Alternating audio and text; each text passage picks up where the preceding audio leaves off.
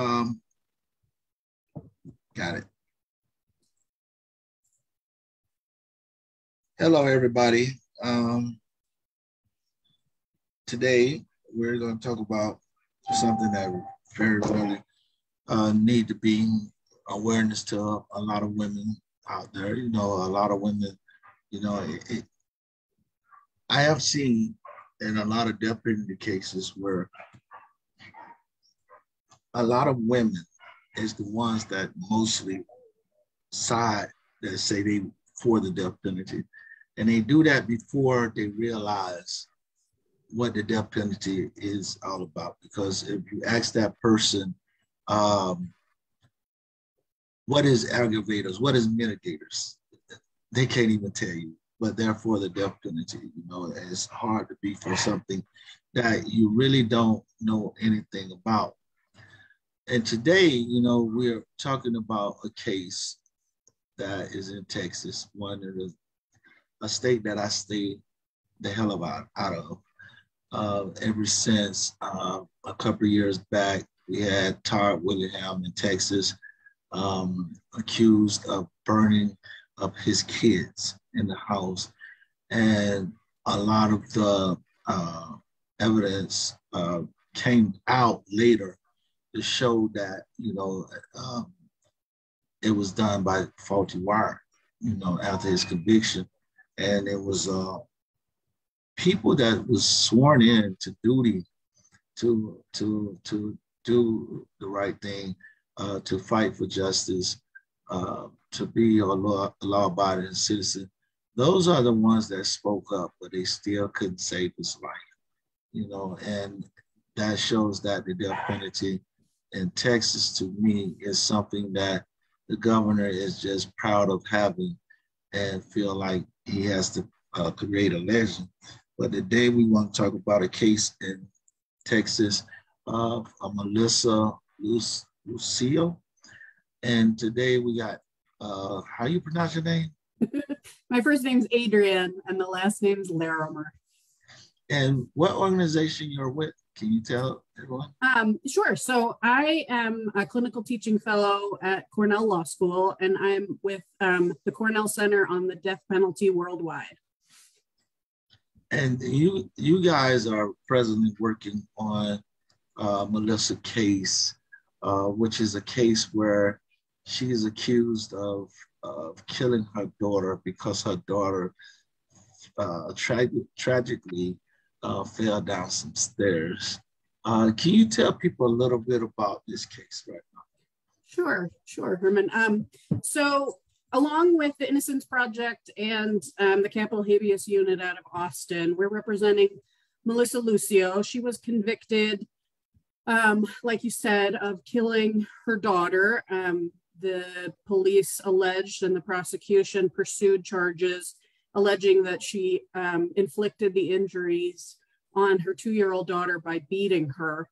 Um, and, you know, looking at it now, um, the evidence actually reflects that Mariah, the daughter, um, fell down a rather large outdoor flight of stairs, hit her head at the bottom. Um, some of her siblings witnessed the fall. Um, and she got up and didn't appear to be, um, you know, terribly injured. And over the next two days, started exhibiting some symptoms. Some, you know, she was a little lethargic. She wasn't feeling well. She didn't want to eat. Um, you know, she was sleeping a little bit more than usual. Uh, and then she went down for a nap and just didn't wake up. Um, the family reached out to the authorities, 911, to get help for her. And on arrival, the police zeroed in on Melissa, took her immediately down to the police station, proceeded to interrogate her for five hours um, immediately after the death of her daughter, um, and used manipulative tactics, um, tactics known to elicit false confessions, until she eventually said, You know, I don't know what you want me to say. I guess I did it. And um, the state used that as a alleged confession, pursued that at trial, and despite the fact that there was zero witnesses um, who can ever say that they saw Melissa hit any of her 12 children, um, whoever saw her be physically violent with anyone, um, convicted her in the beating death of her child. And so she's been on death row ever since. Now, I was reading something earlier um, about about how cases like this uh, involving involving with children's, elderly's. Uh, hold on, I'm looking for it right now. It's in the in the facts. Uh, but it says 70% of these cases are actually um, end up with, uh, okay, here it is. Nearly one in three exonerated women were wrongfully convicted of harming children or other loved ones in the care, or nearly 70% were wrongly convicted of crimes that, that never took place at all, events that were accidents, death by suicide, fabricated according to the data from the National Registry of Exonerations.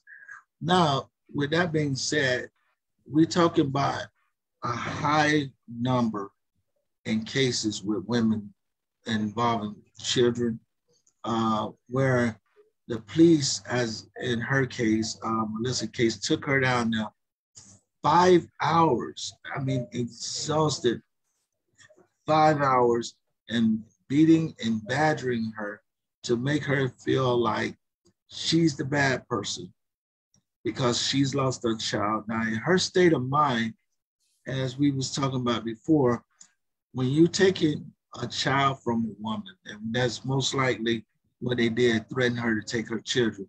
And then on top of that, she's kept, she's not in the right mind because she just lost her child. I mean, five hours ago, her child just passed away, and she's in this room five hours just being badgered, badgered like she's the bad person. And it shows that 70% of those cases that dealt with like that, women end up with wrongful convictions. So my question to you, um, with with with Melissa, well, have you ever been able to speak with her? Yes. I've spoken with Melissa. Mm-hmm. And how how is her state of mind? I mean, what is she thinking like this? I mean, if she has to be really going through this. You know, currently she's doing as well as you can, you know, expect under the circumstances. Um, she is communicating with her lawyers uh, multiple times a week. She does get visits and support from her family. She's very religious, um, so she gets a lot of support from um, the Catholic faith, from her church and her community in the church. Um, you know, of course, Melissa is very remorseful that she didn't seek medical attention for Mariah sooner um, after she fell down the stairs and Mariah was showing some symptoms of, you know, not not feeling quite right or something was going on with her. But they were in the middle of a move to a new apartment. Um, you know, she didn't get all the information from the other children. You know, she just wasn't really feeling well, but she wasn't exhibiting extremely alarming symptoms. But of course, looking back, Melissa regrets not going and getting her medical attention. And certainly, you know, having to live with that is is torturous for her. But, you know, maybe making some bad choices as a parent or not being um, as present as she maybe should have been in terms of looking after her kids doesn't make her a murderer and doesn't make her responsible for the death of Mariah.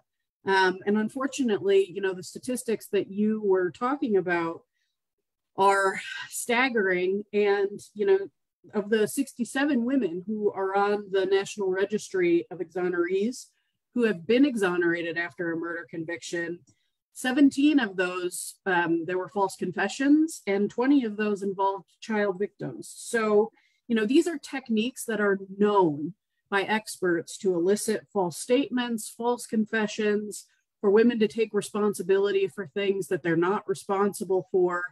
Um, during the course of that interrogation, Melissa asserted her innocence 121 times.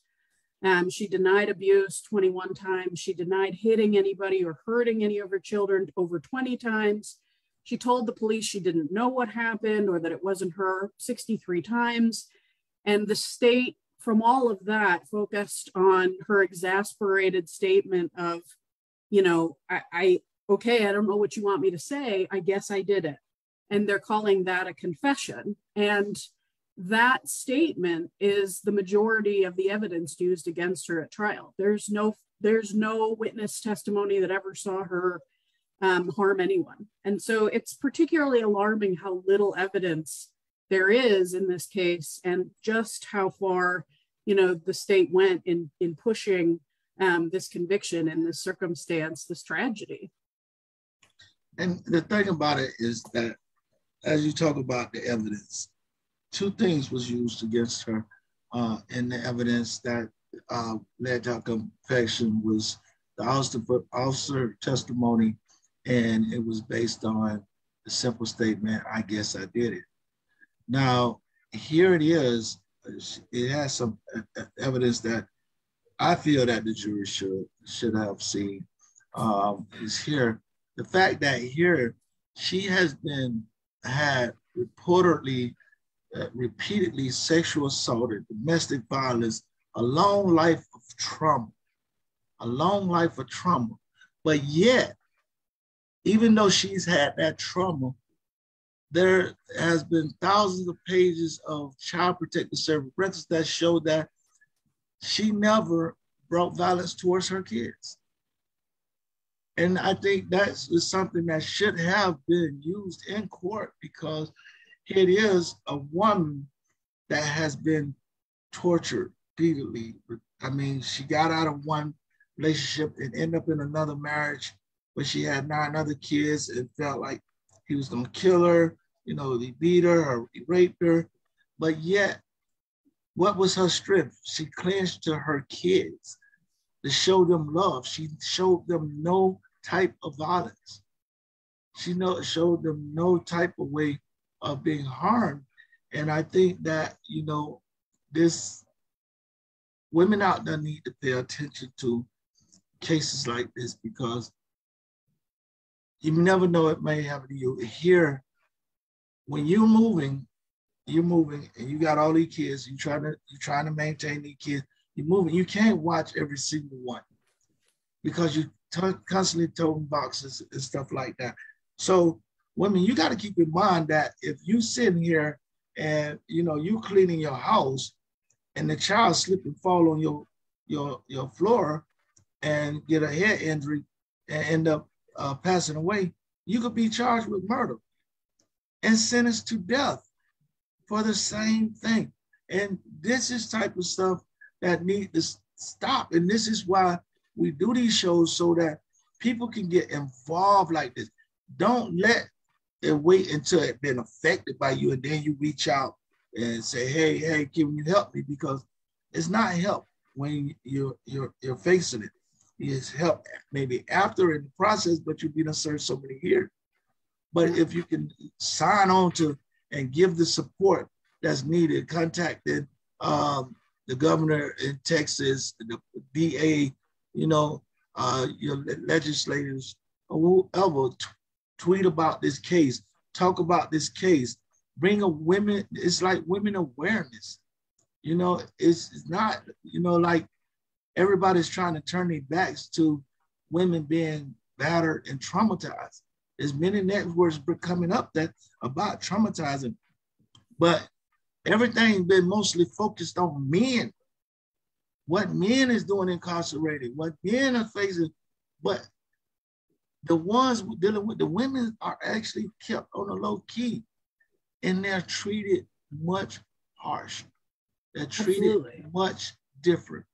Absolutely. The gender bias in this case and across the board in these circumstances, especially when women are mothers, um, you know, is is alarming. Um, especially here um, you know, the police put pressure on Melissa because she was a mother and, you know, threatened her with her status as a mother. there was another parent in the home when all of this was going on, and her partner um, had a history of assaultive behavior. He wasn't treated like she was when he was questioned. He wasn't um, subjected to the type of coercive and abusive physical, um, you know, looming over her physically. The men who interrogated her had weapons. When she didn't give them the answers that they wanted, they would get closer to her physically. If she agreed to, you know, something they wanted her to say, then they would back up from her. And multiple men were coming and going from the room, interrogating her. And for somebody who's a trauma survivor, this is an extremely um, hostile environment. And she, you know, did what she had to do to get out of that environment. Um, the other thing you know, as we're talking about that, is the disparity in the sentence here. Her partner, Robert, only got a four year sentence for allowing endangerment to children, despite the fact that the Children's Services record did reflect a history of violence with him and a history of violence that involved Mariah. Uh, pulling her arm, or you know, some of the younger children were afraid of Robert. So, you know, in this whole thousands of pages of CPS records that Melissa's defense attorney had, there are so many instances where the children are wanting to go back home with mom, where Melissa's having positive interactions with the children. There's no allegations of abuse of Melissa striking the children or harming them. And all of that is just overlooked and not brought out during her trial. And this is just a really tragic circumstance where she didn't have um, competent counsel representing her interests. None of the children were called at trial to testify on her behalf. These records weren't properly gone through, and the information wasn't brought to the attention of the jurors. And we've talked to the jurors um, in this case, and that mattered to them. They wanted that information. So, you know, this is this case is truly tragic and a situation where you know, she has not received um, a fair trial. She has not received fair treatment in the hands of the state. And, you know, uh, something else that's that's very suspicious about this case. Um, her attorney, immediately after the end of this trial, went over and worked at the district attorney's office. The same district attorney who later was investigated for corruption and fraud during this very time her trial was going on and ended up in prison himself. And so there's just a lot going on in this case that's suspicious, that's not fair, that shows that, you know, something more was going on here and that justice has not been served. You know what is suspicious? The death penalty is supposed to be for the worst of the worst. And here it is, you have a lady that never committed a crime in her life on death row because of an accident. Not only did, did she become on death row, but all her kids were split up. So that family love that she was teaching them and embracing them with was destroyed. By who? Right. The state. And immediately after they had already lost a sibling. And now the state wants to take away, wants to take her away from them permanently. So to cause this family to have yet another loss on top of everything they've lost already. I, I really, you know, these are the type of cases that put me in my feelings. Well, you know, and it's it's it's so hard because it's like you you see all the signs that this is wrong, and the people that has the power to correct it using procedures and policies to avoid from making the proper corrections, you know, and is is is it makes me feel like you know here it is. We have a justice system but the justice system only works for those that is in partnership with the justice system. In other words uh, if my dad was a senator trust me i would have been, convicted of that. Or my dad was a, a big company or donated to elected officials you know i wouldn't be in the situation i am and it's so devastating because now they're actually being so difficult and trying to be tough on the police officers and everything. But yet, there's nothing that been in, uh, implemented to be um, uh, a guidance over the state DAs. They can still do what they want to do, prosecute cases in the county they want to, and stick by it. Most DAs can know they got it wrong, and they still refuse to to uh, bring it to the right stage because they feel uh, it might affect their reputation because they plan on running for another office. So now, what is our justice system doing? Is we are getting justice, or we just enjoy creating victims at the hands of our personal gain? You know, and it's it's truly you know upsetting because the prosecutor's creed is to seek justice. It's not to secure convictions. It's not to ensure that the convictions that they get continue to stand when there's evidence to the contrary. And you know this, they, this, um, you know, where they're charged with pursuing justice and they don't do that, that's even more alarming because they're the ones with the power to do so. And you know, there's still time for the people who are in power to act um, and to stop this from happening. Um, and we're asking people to, you know, sign the petition, to call the district attorney's office if they're Texas um, residents and ask them to withdraw the execution date um, so that a real investigation can take place and Melissa can have an opportunity at a fair trial. You know, nobody's asking that Melissa be released immediately and with, you know, that there not be um, some looking into the case, but we're asking that at least she be given a fair trial, a fair shot to present the evidence that stands against her. And in fact, you know, you were talking about this a little bit, but in this case, um, a court has overturned her conviction for that very reason.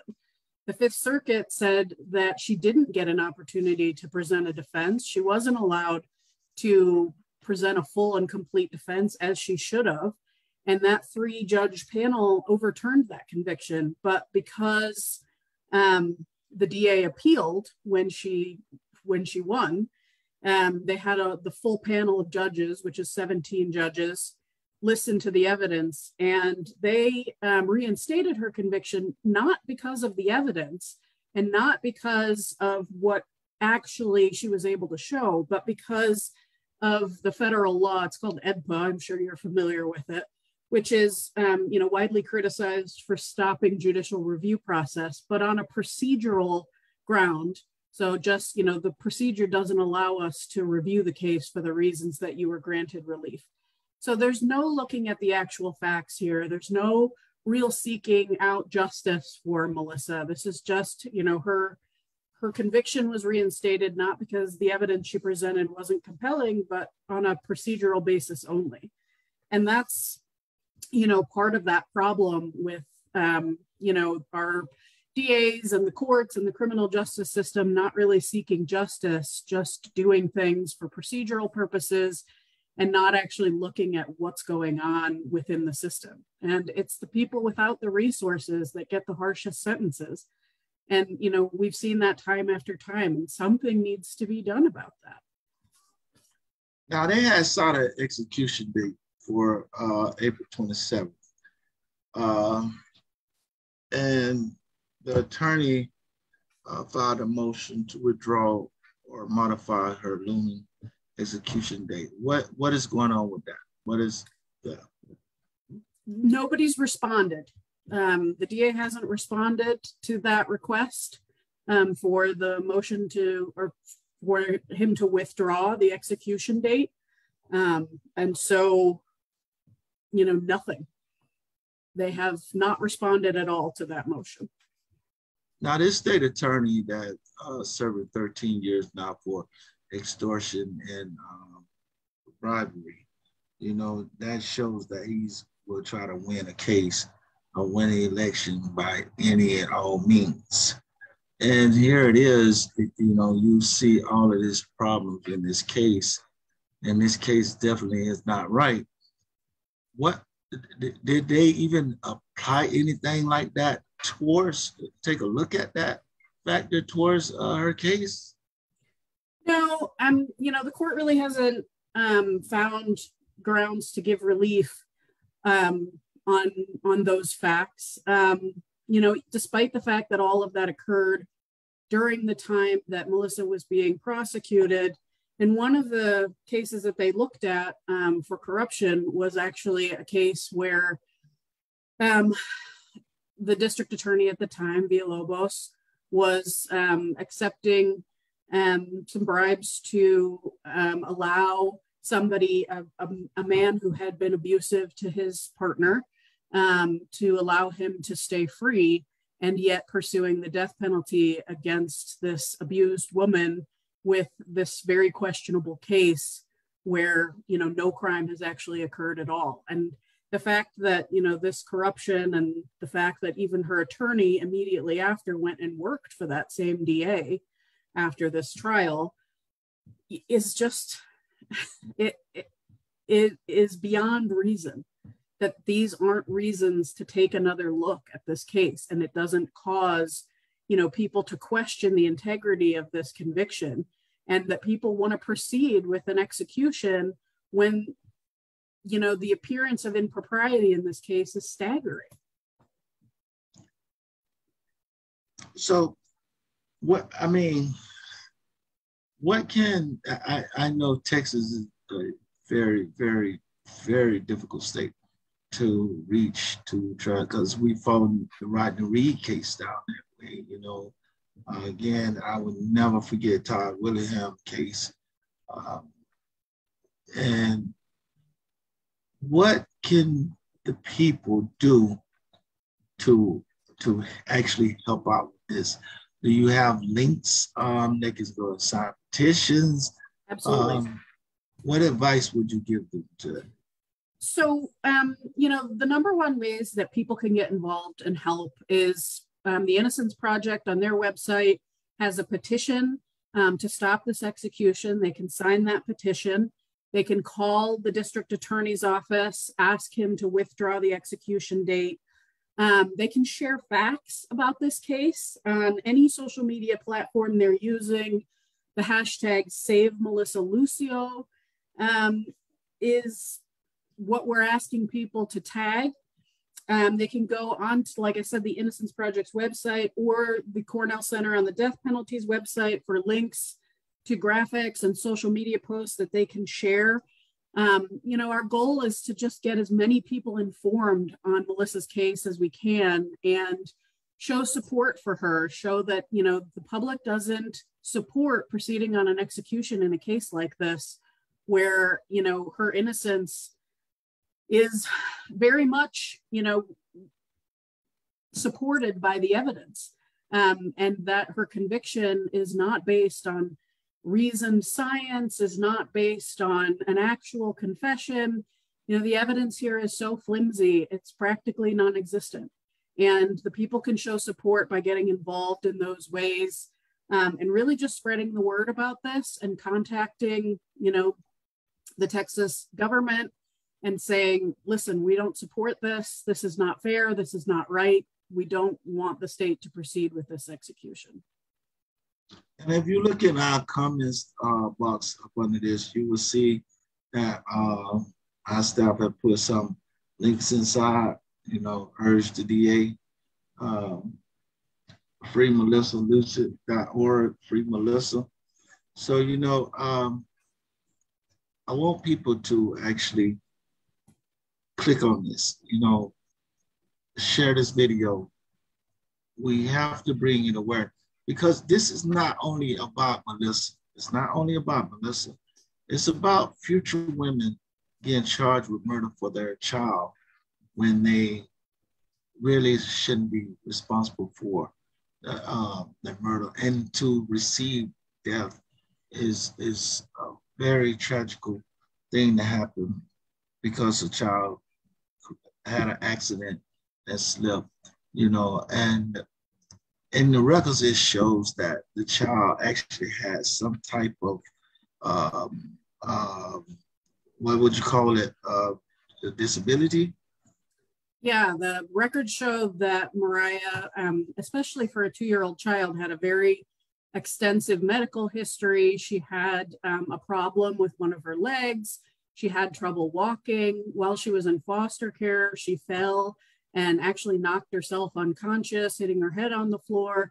I mean, you know, Mariah falling and having trouble walking um, was not something that just occurred on this one occasion. This is something that was known um, by children's services. This is something that her foster parents were aware of while she was placed outside of her home.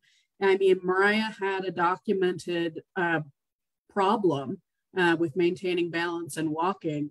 And certainly her falling down the stairs is not something, you know, that that is outrageous.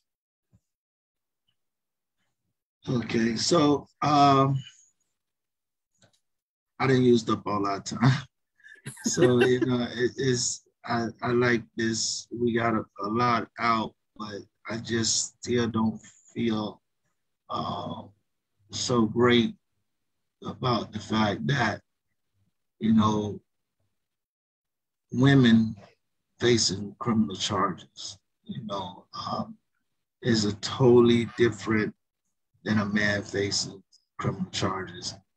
And to s- switch it to someone, you know, to, to, to create a victim and take them through so much trauma at the time that they're grieving of their loss is not justice. You know, it's, it's just not justice and we got a long ways to to to actually getting justice on track. But what people have to understand, you know, I look at I go speaking and I speak internationally, and when I go speaking, it's like they treat me like I'm uh, like a star. But what people don't understand is that, you know, this movement isn't about the person picture on the screen. It's about everybody coming together, signing the petition, standing up. You know, we're just sort of like the organizers of the situation to to speak out about the situation because I experienced with it. But those that stand behind me or beside me, you know, those are very important people. And people that's like of yourself is a very important people. You have legal teams that that's working on it uh, on these cases. You got people put, signing petitions. You got people uh, creating awareness of of the situation. It's a whole big universal ball game that makes this happen. And the more people that we have join us, the, the better it is. I mean, when we was dealing with Julius Jones case, at the beginning, it was 6,000, maybe 6,000 um, signatures. Next thing you know, it went to a million. Next thing you know, it went to 6 million on a petition. It started grabbing uh, national attention. And the governor waited to the last minute to make a decision. But that governor knew he would never win another office if he didn't do the right thing he knew with all these people, he can't go nowhere and get nobody vote because nobody ain't gonna vote for nobody that ain't gonna do right. And that isn't willing to listen. Absolutely. So to the people. So people well, and have, I wanna I wanna soothe your soul a little bit too, Herman, by telling you that um, part of our project and part of what we work on at the Cornell Center on the Death Penalty Worldwide, we have a program called the Alice Project and it's the first global focus on women facing capital punishment. So we're examining the role that gender plays in death penalty cases. We're looking at transcripts to see how women have been gendered um, and how gendered violence affects their cases. And so, you know, we're seeing too often women being prosecuted based on them being bad women or bad mothers, not because of the actual crimes committed, and that's being used against them. So I, I want to reassure you that I promise we're we're looking into this for women, we're advocating for them, and we're going to continue to do that. You know, that's what actually sparked me into this um, campaign that I've been doing lately on Cruel Justice about women. We had um, I forgot her name from Cornell on on the show, and we was talking about how women are being discriminated. And you know, it blew my mind when they, in one case, the prosecutor walk around with her underwears because it was thongs. It tells uh, uh, like a woman is like a Jezebel. You know, right. you, she and, can't and be it, grieving it, and wearing a thong at the same time. Yeah, right. that was Natalie Greenfield from our office that you talked to, and that was the case of Brenda. Yeah, Andrews. Natalie Greenfield. Yeah. So yep. and, Sandra uh. So mm-hmm. you know it, that was that right there blew my mind, and it say you know me and the team at Witness Innocent, Allison, Jenny, uh, Maureen, and all us. We sat down and you know what? We said we need to start running something about the women. So that's why we're focused now on women cases. You know, we had Sabrina was on there, and Sabrina talked about how she was mistreated and how guards used to try her and things like that. You know, what they think about women when they get arrested. I mean, this is ridiculous in that. And the bad thing about it is society actually judge women like that. So where do you get a fair trial in front of your own peers when society think of, of, of it, because the underwear you wear, it, you know, you, you can't be a law-abiding citizen. You know, right. it's crazy. But um, that what sparked it off with uh, me in this women thing. I'm, I'm about this women thing, and I feel like we really need to educate people. Well, thank you. We are so glad to have you as an advocate and we promise to keep working and we'd love to continue working with you to you know get to the root of these things and do something to change it. As long as we get that education out there that's what's up. That's my goal in life.